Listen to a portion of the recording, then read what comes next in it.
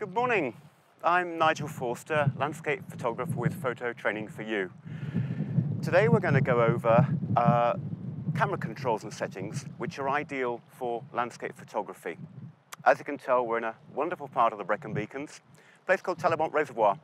We're right at the dam, at the head of the reservoir, surrounded by fantastic mountains.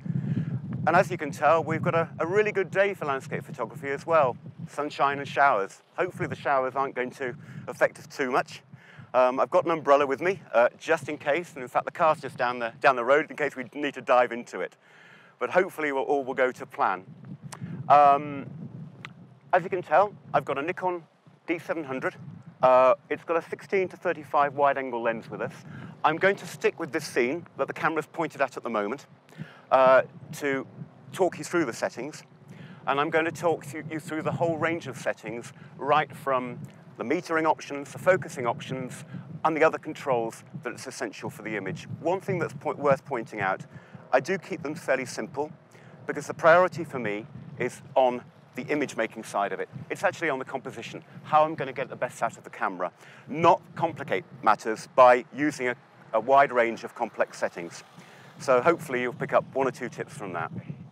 Now, as I explained, I've got a Nikon D700 here. Um, obviously, many of you will have not only other Nikon makes, but also other makes, primarily Canon, which uh, I know from the courses I teach uh, a considerable number of, of people possess.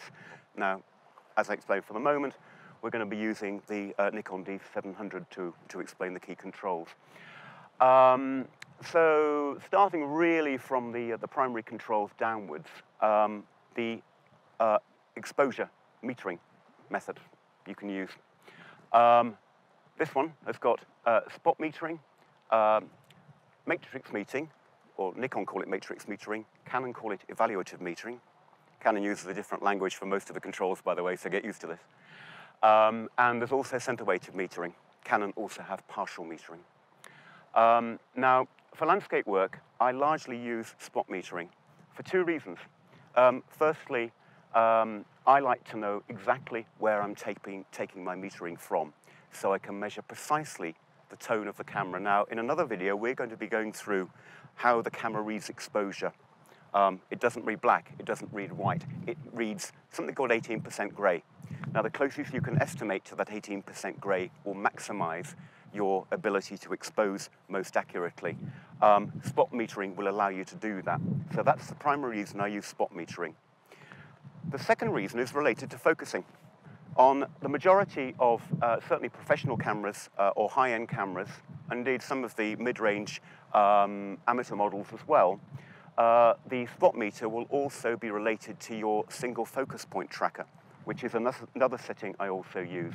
Now on this camera, the focus point tracker options are the one, the button at the bottom there. Um, at the moment, as you can tell, I've got it on the single focus point. Therefore, you can pick on the scene, the key focus point you want to concentrate on, but it will also measure exposure as well. It's a very, very useful tool, particularly when you've got the camera on a tripod. Now, I know many of, that, many of you out there will probably be used to um, focusing on a key part of the scene and perhaps repositioning. So you've got the focus point in the middle, but, and then you'll reposition to the part of the scene you want to expose for. However, on a tripod, that's much, much more difficult because you then have to effectively recompose the whole camera. So on a tripod, I would always recommend use spot metering with single focus point tracker and then you're performing two functions at the same time. I'm also going to use manual exposure as well. Now, I know that many of you will probably be used to using perhaps um, aperture priority, shutter priority, to Canon users, that's time value by the way. Um, and, um, but I prefer to use manual exposure because I to my mind, the more control you have um, of the camera in landscape photography, uh, the better the results and the better, the more accurate results can be. With exposure in particular, um, precision is important. Um, now, of course, in one of the others, aperture or shutter priority, you can use exposure compensation to compensate when the camera's measured the exposure from uh, the scene incorrectly. My argument is, why not use manual and make your own assessment? My, the important thing from my point of view is to measure most accurately from that mid-grey I talked about, the 18% grey. Now, my assessment of this scene, a, a lit landscape, would be an accurate point of uh, exposure. Uh, the light water, the light part of the sky, but not the white clouds. The white clouds are going to be too bright. They will underexpose the picture if you point to the white clouds. Obviously, in this, uh, increasing the sun is coming around, which I know, having discussed it at length with Sam, is causing us a few issues here.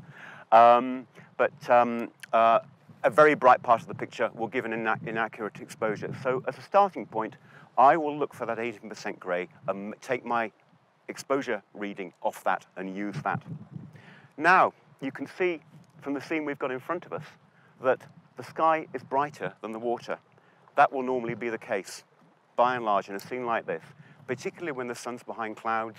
The sky is the same brightness, but the landscape becomes darker. So there's clearly a difference between the two. Now, in a separate video, I'm going to show you one of the ways you can, or two or three of the ways that you can overcome that. For, but, but, for the purposes of this one, I'm going to keep it a single exposure. But you will notice that either that foreground will be underexposed or the sky will be overexposed because of the imbalance between the two.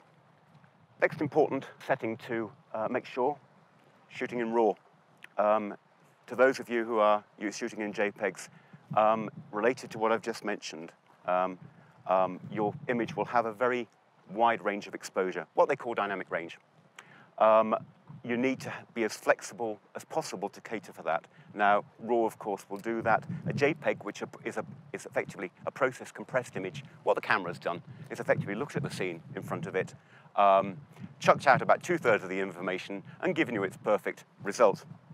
Unfortunately, in giving you its perfect result, sometimes less than perfect, it's chucked out important data which you then cannot process afterwards a raw file contains an, a lot of embedded information which you can then bring out through post-processing.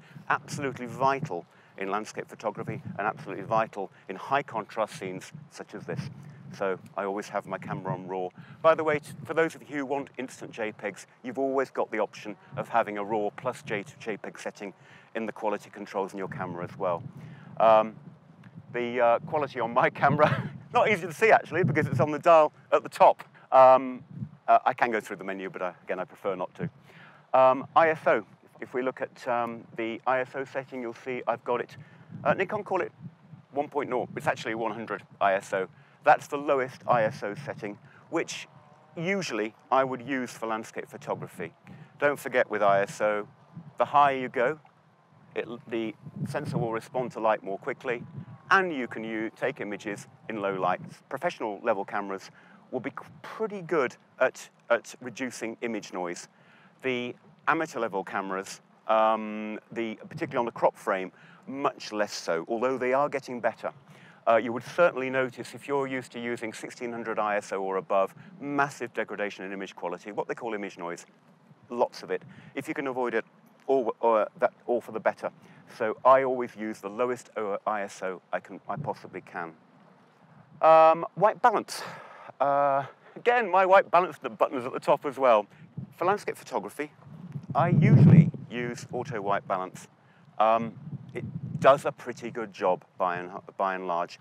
Your camera will have a whole range of settings from the indoor artificial lighting settings uh, to uh, a mix of sunny day, cloudy, um, and a whole range of settings. Now, as you can see here, we've got rapidly changing light. One minute it's cloudy, one minute it's sunny. I prefer let, to let the camera do the job. There are exceptions to this. Um, for example, with panoramic photo merges, where while you're panning, you can actually get a change in the reading, which can cause all sorts of problems when you're trying to merge the images. But we'll come on to that on another, on another, another day. So usually, I, I trust my camera's auto white balance setting. I know some people prefer to use a fixed setting like Cloudy Day. Uh, you'll find that comes out very warm if you don't actually need it. Of course, white balance is one of those things easily uh, correctable in either Adobe Camera Raw or Lightroom. So again, it's not something to worry too much about. And as you can tell, just while I've been talking, the sun's come back out again. I mentioned a minute ago um, where we've got a big difference in exposure readings between the water and the sky. Now, that will reduce. The sun's just come out. That exposure difference between the water and the sky actually is less than it was. But when there is a difference, and there's still going to be a stop or two difference, um, the, um, one of the ways in which you can uh, correct that is to take more than one exposure and blend them. So I will often set the camera to the bracketing uh, setting and just take three images consecutively, immediately after each other, and blend the sky to the landscape from the top and the bottom to balance the exposure. Now, I told you it was quite straightforward. Those are actually the key settings on the camera that you'll use. One thing I did forget to mention, though, just a minute ago, in using bracketing, using the rapid fire uh, option at the same time, because that takes the images immediately after each other. You don't want the scene to change if you're taking the trouble to take them manually one after another. So you'll take one, two, three immediately after each other. So I did forget to mention that. So yeah, apart from that, those are actually the most important settings. You're using spot metering, you're using the single focus point to measure where you're focusing on precisely, which as I explained will also use the spot metering. You're using the lowest ISO you can, using auto white balance, but that is an option. I'll leave that one up to you. My preference is to use auto white balance. Um, I like control over my bracketing options. Um, I use manual, manual exposure because I like to have control over metering. Um, and as I explained, the most important thing is to have maximum control over the image you're taking and to keep things simple.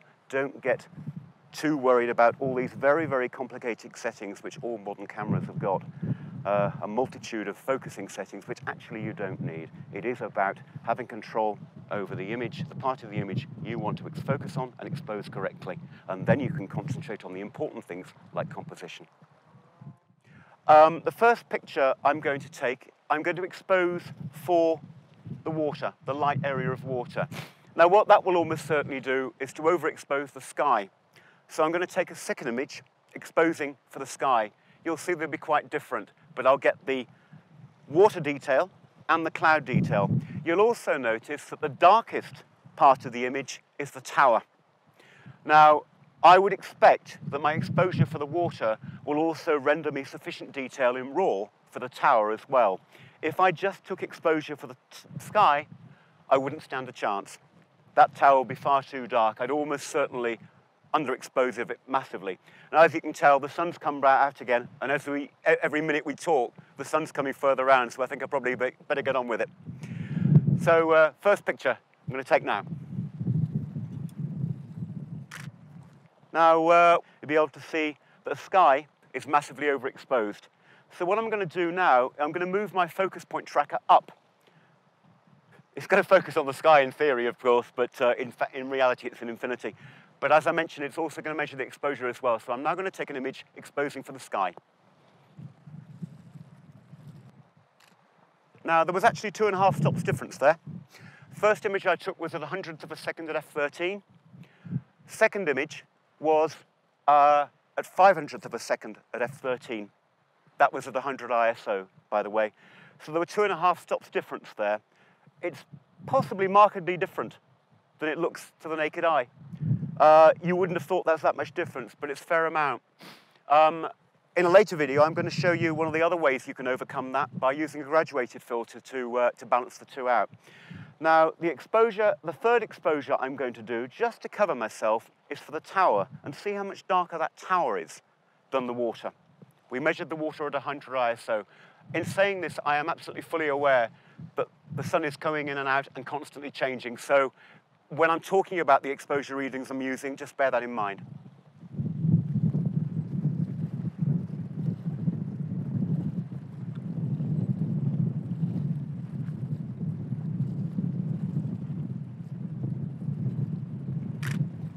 Uh, right, I've just taken a third picture because I was concerned that I needed sufficient detail in the tower, and that's shown as being a 40th of a second at f13. So what I've done, I've taken three images. Um, a 40th of a second to a 500th of a second. That's about, on my calculation, about five stops difference between the darkest tones and the lightest tones in the picture. And it's that kind of range that you can, that, that you will need to get all the tones measured in that image. The other thing I probably need to explain is, um, is uh, depth of field. Now I mentioned I've used, on more than one occasion, I've used a single focus point tracker. Um, now I also used f13. Now in reality, I've got a wide angle lens on here. it's at 16 millimeters, which is equivalent to 10 millimeters on a crop frame camera. Um, and in reality, everything I was focusing on, the tower, the water, the sky, um, is an infinity. So it doesn't really matter. I used f13. Um, lenses tend to perform pretty well at those mid-range uh, of, um, of, apertures, f-stops. Um, now, obviously, if I had a, a part of the image, for example, the wall you can see in the foreground, if I had that in the foreground, the focusing would therefore become critical because I'd need to think about depth of field. In other words, having all of the picture in focus if that's what I wanted. As it is, my subjects within this image were the tower and its railings, the water, the background scenery and the sky, effectively on a 16 millimeter lens, all in infinity. So I really didn't have to worry in, about the aperture in terms of control of depth of field. But in other videos, I will show you examples in which that control is really important because depth of field is dependent on three things. Firstly, it's dependent on the aperture you use. You've got more control. Don't forget, the smaller the hole, the smaller the aperture, the wider the depth of field. Uh, but also, the closeness you are away from the subject, to the subject, beg your pardon, um, the closer you are, you are to a subject and the furthest away that your furthest subject are, the more depth of field becomes critical. Um, the lens that you're using, telephoto lenses have got a narrower depth of field than a wide angle lens. Therefore, in a lens like this, I'm pretty confident I can get that whole scene in focus. So in this respect, I was primarily using that focus point tracker to measure the exposure and not necessarily too worried about its role as focusing. Okay, that's it. Um, you'll probably think that's quite simple. That's because it is. I do like to keep things simple. They're the controls I usually use for my landscape photography. Um, you'll know that your cameras have got a massive amount of options in terms of shooting modes, uh, exposure modes, focusing modes in particular, can be incredibly complicated. But I keep things simple because my priority is getting an effective image. Therefore, the most of my time is spent on composition and making the picture. So I like to make sure I'm familiar with those settings, use them regularly, know where to turn to, and don't overcomplicate things. And I, would suggest you try and do the same. So um, that's it really. I'm not going to go over the, um, the settings in, uh, in detail again. I think I've done that more than one occasion. But um, the simple rule is keep things simple, let the camera do the work. This is Nigel Forster, landscape photographer for Photo Training for You. See you again soon. Thanks very much. Goodbye. Thank you.